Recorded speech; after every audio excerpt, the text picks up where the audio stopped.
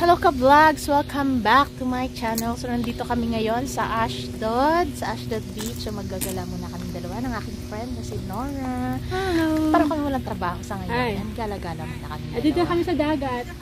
Ayan. So ipakita ko sa inyo ang kagandahan ng Ashdod Habol ka. Beach. Habol So ka. tara guys, samahan nyo kaming dalawa. Uy, punta ka dito. Anong holding hands? Magjowa. Ayan. Kami ngayon mag... Ayan sila.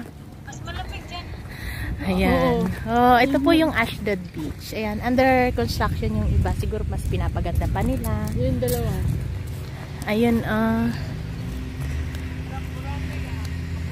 Ayan. Oo. Sa uh, white, white sand siya, be. Ang ganda. Nakatupis what? Ay ka, lamig-lamig naman magtutupis. Ang dami pong tao nagsiswimming din kahit malamig. Pwede, may naliligo. Meron naman naliligo. Ikaw, tr- trip mo. Oh, Tito, tayo ang lamig-lamig. Lulub-lub ka sa tubig. May skateboard pag ano ba, surfing board. Oo.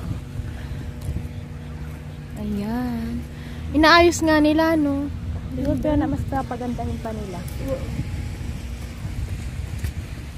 Ayan po ang Ashdod Beach. Kahit malamig, may mga nagsiswimming pa rin.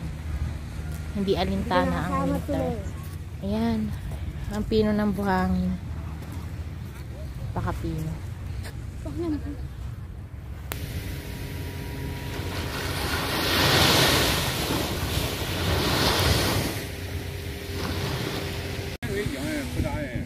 bò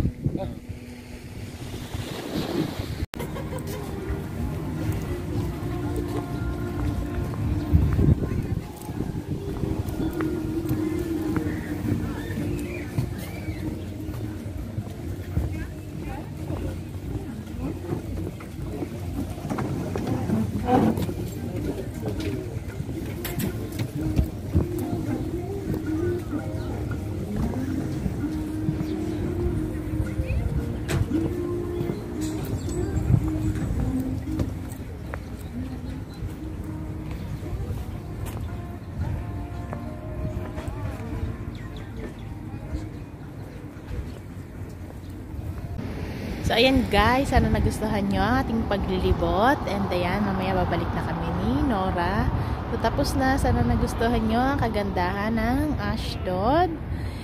And, uh, ayun guys, kung may gusto kayong i- i-vlog ko, sabihin nyo lang, comment down below. And mega mega shout out sa aking anak na si Ber, ah, asawa na si Berel at saka si ah, aking anak na si Jaden Josh at sa aking mama at papa at mga kapatid. See you again guys. Bye. God bless.